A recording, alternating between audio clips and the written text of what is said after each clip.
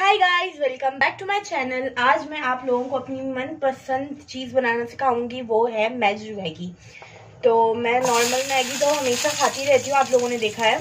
लेकिन आज मैं वेज मैगी की रेसिपी दिखाऊँगी। तो मैंने क्या किया है, मैंने तीन से चार चम्मच तेल लिया है, उसको फ्राइंग पैन में डाल दिया और एक छोटे साइज़ का प्याज लेके मैंने काट दिया है।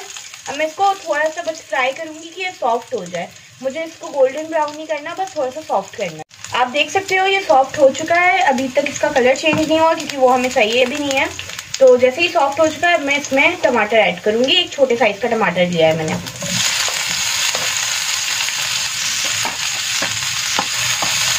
और टमाटर के साथ ही मैं मटर भी ऐड कर रही हूँ, क्योंकि मटर को पकने में टाइम लगता है, इसलिए मैं मटर पहले से ऐड कर रही हूँ।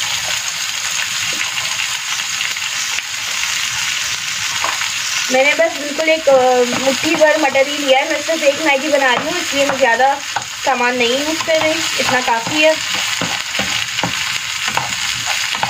इसको हम थोड़ा सा मिला लेंगे। और मटर जो है, उसको पकने में टाइम लगता है, जैसे मैंने अभी आप लोगों को बताया। तो हम क्या करेंगे, इसमें थोड़ा सा पानी भी ऐड कर लेंगे। मैं जो है, आधा कप पानी ऐड कर रही हूँ। आधा कप पानी बहुत है क्योंकि इतने, इतना ज़्यादा भी मटर इसमें नहीं डाला है। और हमारा मटर जो है, अच्छे से पक जाए और टमाटर भी गल जाएगा। फ्लेम जो है मैंने लो लो पे रखी हुई है, मीडियम टू लो। और इसको अब हम ढक देंगे पाँच मिनट के लिए। तो पाँच से दस मिनट हो चुके हैं, अब मैं इसको हटा रही हूँ। आप देख सकते हो, अभी भी इसमें थोड़ा बहुत पानी है। हम लोग फ्लेम जो है, अब मीडियम टू हाई कर देंगे। हाई टू मीडियम या मीडियम टू हाई जो ये देखें हमारी हमारा जो मटर है वो भी 90 परसेंट पक चुका है। अब इसमें हम मसाले डालेंगे। मैंने एक टीस्पून चाट मसाला इसमें डाला है क्योंकि मैगी थोड़ी चटपटी होती है तो ज़्यादा मज़ा आता है। और एक टीस्पून काली मिर्च पाउडर डाला है ताकि थोड़ा स्पाइसी भी लगे।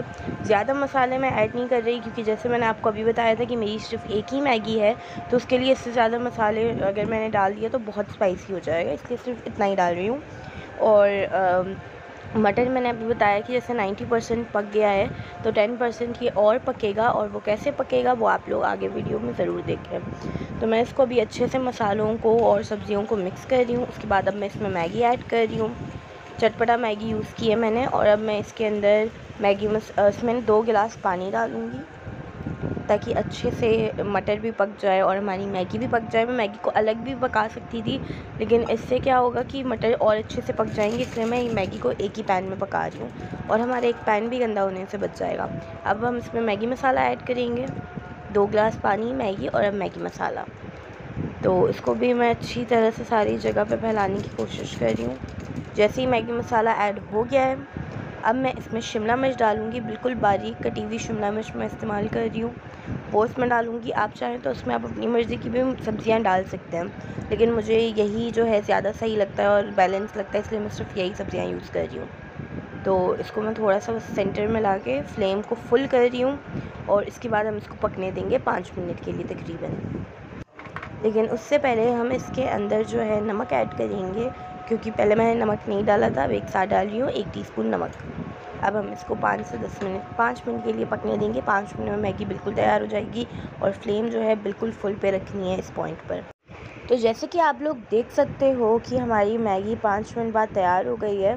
बिल्कुल हल्का सा पानी रह गया अब मैं इसको चम्मच से ऐसे ही हिला रही हूँ तो इसका पानी भी ख़त्म हो जाएगा। अब जैसे ही इसका सारा पानी ख़त्म हो जाएगा, फिर मैं इसको प्लेट में निकाल के डिश आउट करूँगी और हमारी मैगी बिल्कुल तैयार है। और जो मटर भी थे, वो भी बिल्कुल पक चुके हैं अच्छे से और बाकी सब्ज़ियाँ तो वैसे ही पक गई थी। तो ये बिल्कुल तैयार हो चुका है। अब इसका सारा पानी भी ख़त्म हो गया है तो मैं इसको जल्दी से प्लेट में निकाल के आप लोगों को दिखाती हूँ। देखिए, हमारी वेज मैगी जो है बिल्कुल तैयार हो चुकी है और बहुत मज़े की लग रही है। आप लोग ज़रूर इसको ट्राई करें and please give thumbs up and subscribe to my channel और मुझे प्लीज़ कमेंट करके बताएँ कि मैं आप लोगों के लिए और कौन कौन सी रेसिपीज़ बनाऊँ।